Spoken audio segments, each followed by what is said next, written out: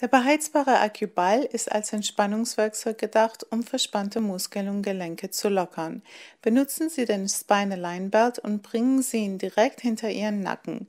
Die Präzisionspunkte auf dem Akkuball werden in die Muskeln eindringen und sie trennen, wodurch diese entspannen. Sie erlauben auch den Gelenken in Ihrem Hals, sich innerhalb von drei Minuten zu lockern.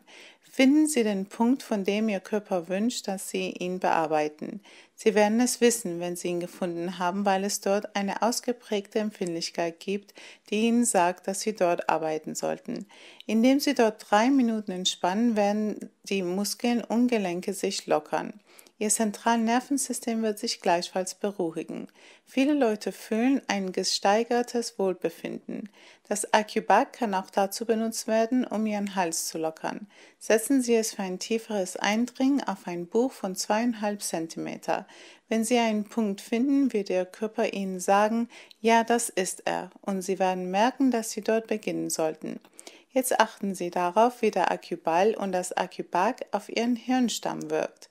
Dies ist, wo alle Informationen zu und von Ihrem Gehirn fließen und es ist das Hauptzentrum für das Wohlbefinden und die Gesundheit.